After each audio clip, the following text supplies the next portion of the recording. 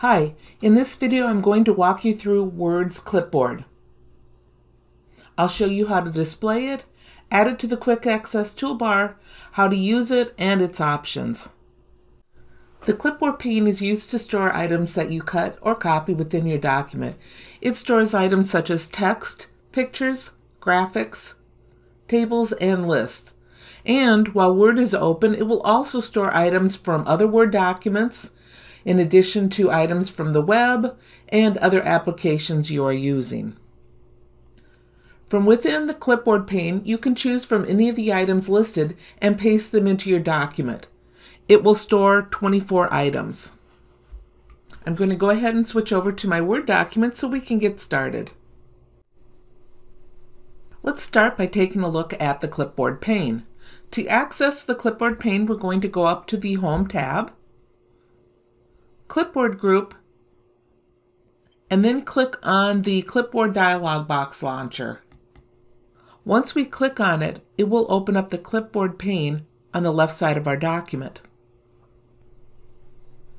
And as you can see here, I've got various options on my clipboard already. Images from Word, text from the web, text from Word documents, from Excel, and also an image from PowerPoint.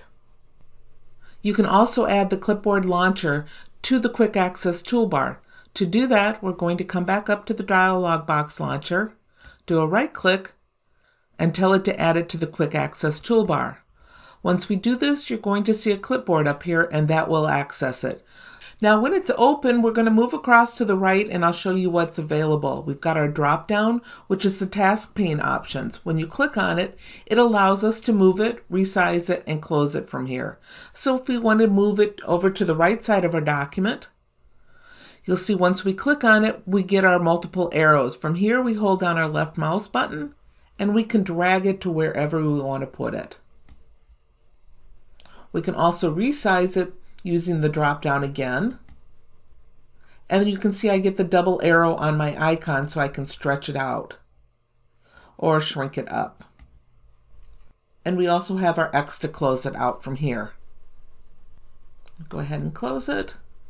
You're going to see when I open it back up in this document, it opens back over to the right because it remembers where I had moved it to. So I'm going to go ahead and move it back. And stretch it out so I've got it taking up the whole side. Let's go ahead and add a few things to our clipboard. So I'm going to come over to my document, take this first paragraph, and I'm going to cut it. And you can see it was added to the clipboard.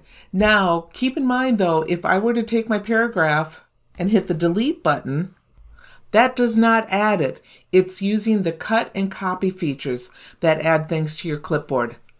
Okay, let me undo that and put my paragraph back. I'm going to go to my Excel document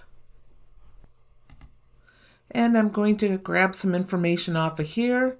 I want to copy it, come back over, and you can see that was added here as well. Do the same thing from the web. I'm to copy this image and we'll go back to our document. We can see it's been added here. Now, if I want to add information from the clipboard to my document, all I need to do is come over to it.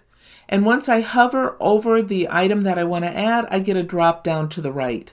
When I click on the drop down, I can paste it to my document where my cursor was. Or if I no longer need it out here, from the drop down, I can delete it and it's gone. Same thing with the information I took from Excel.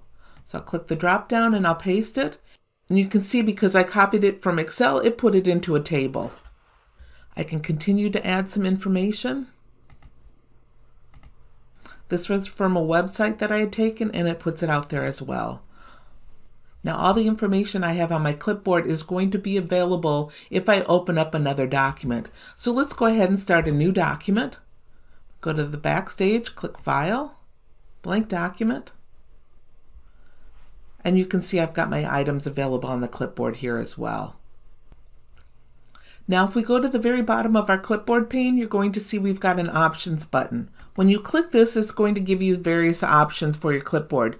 You can have it show automatically. You can show it when you do the Control C press twice, it will bring up the clipboard. And you can also collect without showing the Office clipboard.